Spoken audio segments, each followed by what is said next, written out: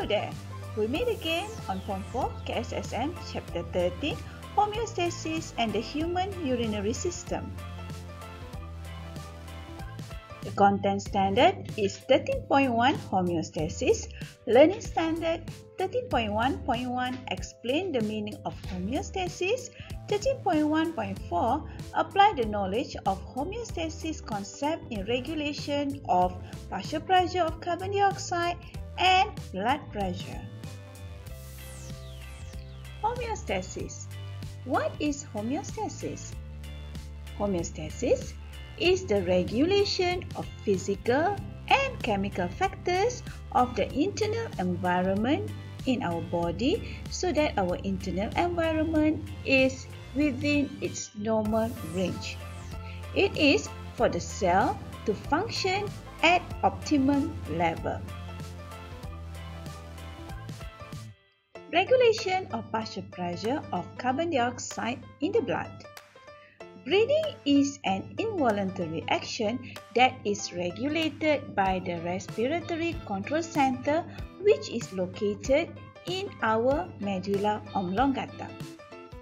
This respiratory control center helps to maintain homeostasis. How? By controlling the partial pressure of carbon dioxide in our blood. Now, we are going to see how partial pressure of carbon dioxide in our blood is regulated. It starts with vigorous activity. During vigorous activity, our partial pressure of carbon dioxide will increase. What happens in the blood is this carbon dioxide will dissolve in the blood plasma to form carbonic acid and then the carbonic acid is broken down into hydrogen ion and bicarbonate ion. Due to that, the pH of our blood and the pH of our cerebrospinal fluid will decrease.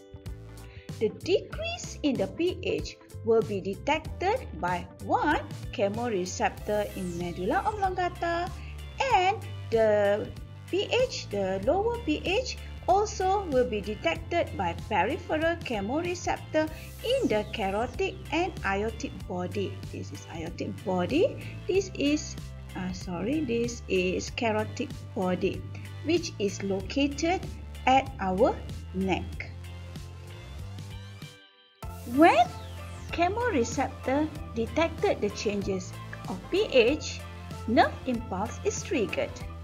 The nerve impulse is then sent to the respiration control center inside our medulla oblongata.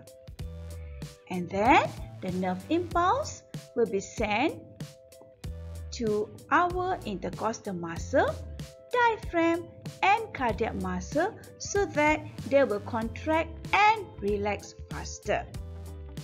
Breathing rate will later increase heart rate also increases, ventilation rate also increase, so more carbon dioxide can be expelled from the lung. As a result, the partial pressure of carbon dioxide and blood pH will go back to normal. Now, we'll see how our blood pressure is regulated in our body. First, if our blood pressure drops. Baroreceptor in the aortic arch and carotid artery will be less stimulated. This is the baroreceptor in the carotid artery. This is the baroreceptor in the aortic arch. Cardiovascular control center in the medulla oblongata will also be less stimulated. Arterial vasoconstriction occurs meaning our artery diameter will constrict and uh, the diameter will become smaller. Resistance to blood flow will then increase. There will be stronger contraction of the cardiac muscle. This will cause blood pressure to increase and then later go back to normal. Now what happens if our blood pressure increase? Then, the baroreceptor in the aortic arch and carotid artery will be stimulated. The cardiovascular control center in the medulla oblongata will also be stimulated. Arterial vasodilation occur. Vasodilation meaning the artery will become bigger. The diameter of the artery will become bigger. So resistance to blood flow will decrease. Weaker contraction of cardiac muscle also occurs.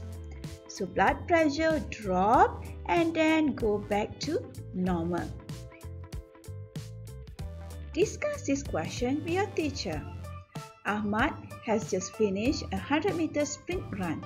Explain how his blood pressure is lower back to normal range. Till then, bye-bye.